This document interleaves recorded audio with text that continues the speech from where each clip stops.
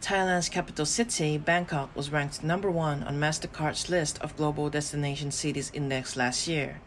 This year, government officials say the COVID 19 pandemic has posed a great challenge to tourism. The Department of Disease Control says they have kept the pandemic under control in Thailand and Bangkok. One tourist agrees. Considering COVID 19, I feel safe to be here in Bangkok. Professor Korke Arnans from Sripatum University says the government's goal to generate $47 billion is unlikely. I think the highest number is impossible to reach, and more knowing that we still don't know when the end of the pandemic is going to happen.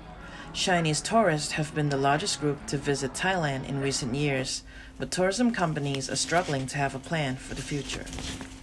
We are required to follow government's COVID instructions. Tourists have stopped to visit Thailand since January.